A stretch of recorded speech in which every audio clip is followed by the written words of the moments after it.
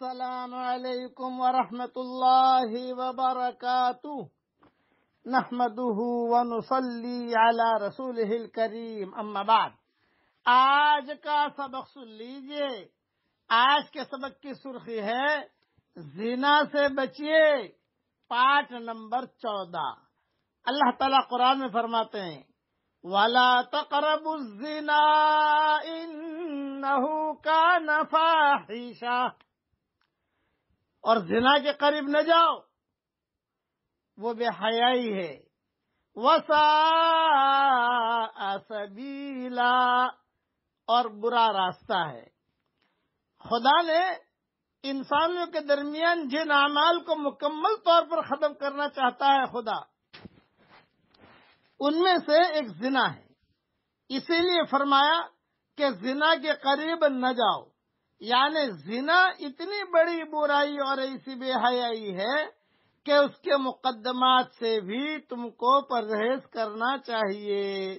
یہاں اس سلسلے میں صرف اصول حکم دیا گیا ہے۔ اس کے تفصیلی حکام آگے سورہ نور میں میں انشاءاللہ میری ریاض تفسیر میں انشاءاللہ بیان کروں گا۔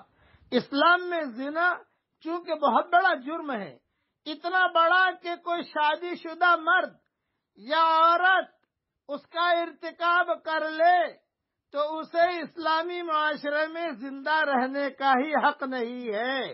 اسلامی حکومت ہو تو اسے زندہ رہنے کا حق نہیں ہے۔ پھر اسے تلوار کے ایک وار سے مار دینا ہی کافی نہیں، بلکہ حکم ہے کہ پتھر مار مار کر اس کی زندگی کا خاتمہ کیا جائے تاکہ وہ معاشرے میں نشان عبرت بن جائے۔ اس لیے یہاں فرمایا کہ زیاد زنا کے قریب مت جاؤ۔ یعنی اس کے دوائی اور اسباب سے بھی بچ کر رہو۔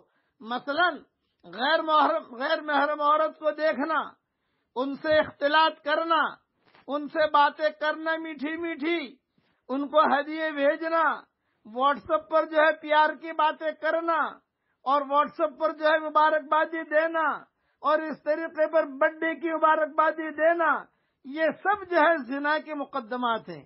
خوشبو لگا کر ان کے پاس جانا۔ اسی طرح عورتوں کا بے پردہ اور بند سور کر گھروں سے باہر نکلنا۔ وغیرہ۔ ان تمام امور سے اجتناب ضروری ہے تاکہ اس بے حیائی سے بچا جا سکے۔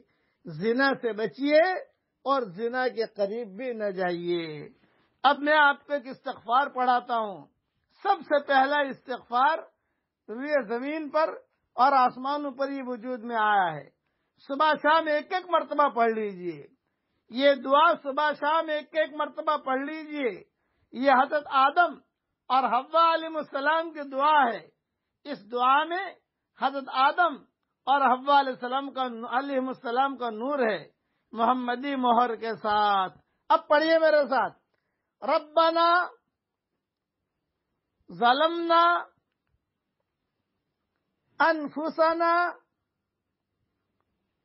وإن لم تغفر لنا وترحمنا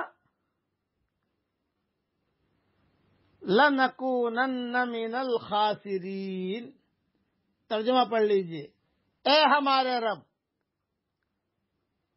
ہم نے اپنے جانوں پر ظلم کیا۔ اور اگر آپ ہم کو معاف نہ کریں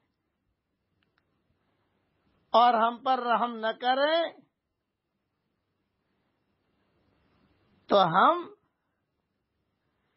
نقصان اٹھانے والوں میں سے ہو جائیں گے۔